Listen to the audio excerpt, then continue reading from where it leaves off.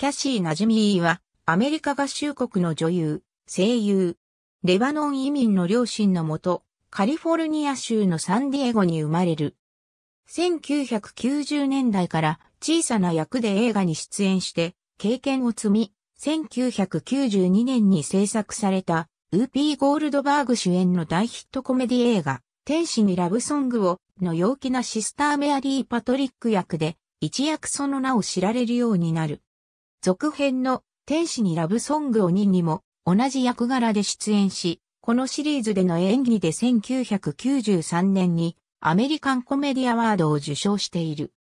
それ以外では、ベッド・ミドラーやサラ・ジェシカ・パーカーと共演したフォーカス・ポーカスやローワン、アトキンソンやキューバ・グッティング・ジュニアらと共演したラットレースなどにも出演し、コメディセンスを存分に活かした演技を披露している。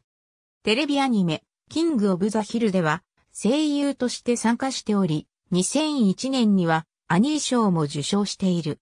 1995年にコメディ俳優兼歌手のダン・フィナーティと結婚し、1996年には長女を出産した。